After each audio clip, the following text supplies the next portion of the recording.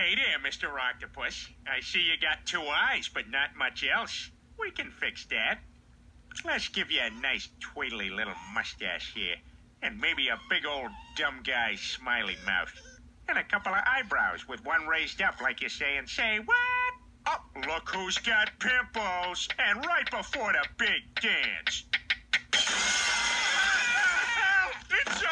So sucky and squeezy. I'll handle this. I've tangled with the likes of these before.